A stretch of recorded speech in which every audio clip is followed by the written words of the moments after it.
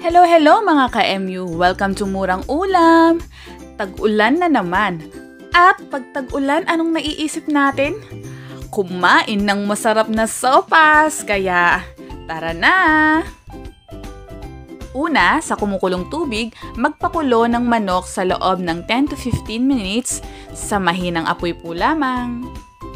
Eto na, napakuluan na natin. Ngayon, hihimayin natin ito sa maliliit na parte.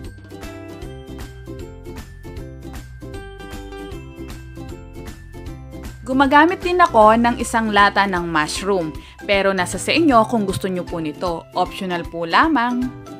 I-drain at iset aside. Ngayon sa ating cooking pot, maglagay tayo ng konting oil at butter. O pwede rin po kayong gumamit ng margarine. Igisa ang puting sibuyas.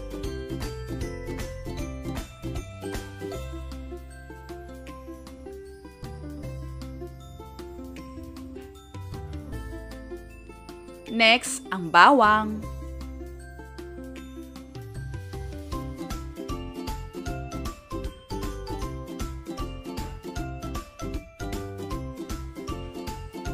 at ang hinimay nating manok.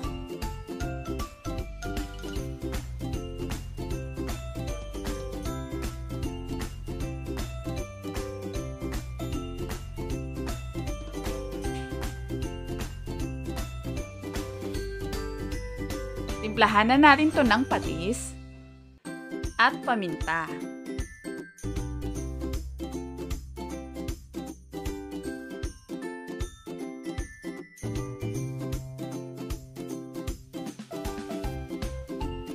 Lagyan ng konting tubig. Ito yung pinagpakuluan ng manok o yung tinatawag na chicken broth. Hayaan natin kumulo sa loob ng 5 minutes.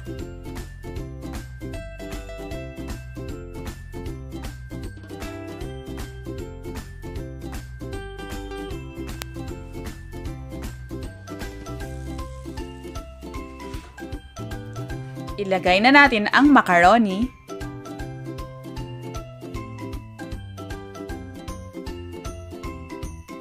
Haluin saglit. At maglagay na tayo ulit ng sabaw. Ito ay ang chicken broth ulit.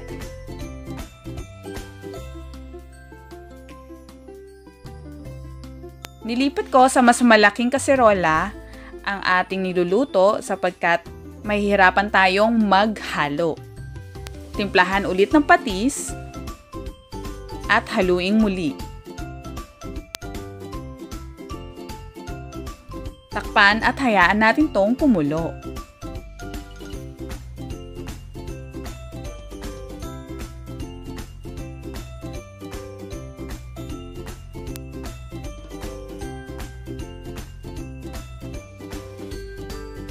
Ilagay ang mushroom,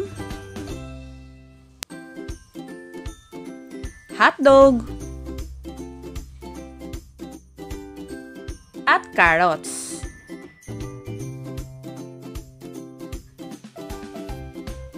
Haluin. Mayat mayang hahaluin o i-check para hindi dumikit yung macaroni sa kasirola.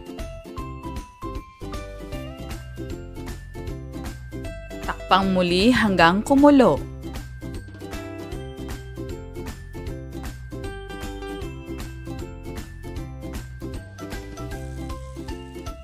Kung ayaw nyo naman po ng hotdog, po pwede naman pong hindi na maglagay nito.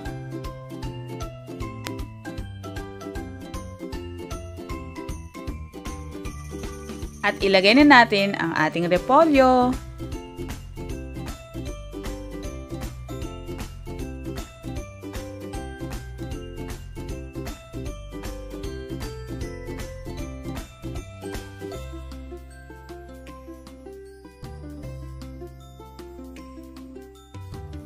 Ngayon, pwede na natin ilagay ang ating evaporated milk. Paunti-unti ang paglalagay para hindi siya bumula-bula o magmuo-muo.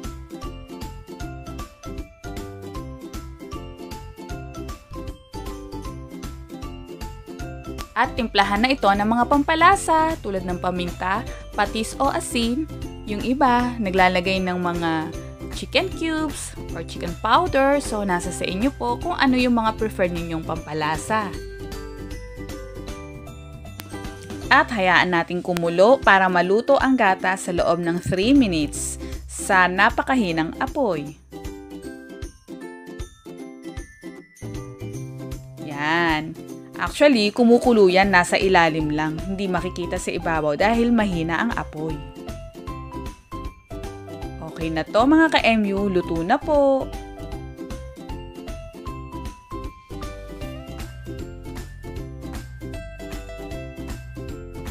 Narito na ang ating chicken sopas.